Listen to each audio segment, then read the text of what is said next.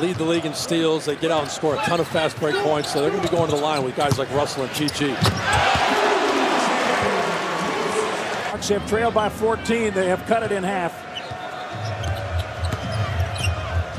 Three on the way. Last shot of the half. And it's a three-point make by Raymond Felton. It's hot in that Boston series. I mean, he might have had, the, I think he might have had the highest three-point percentage in that whole first round of the league. Flush Bonzie, Colson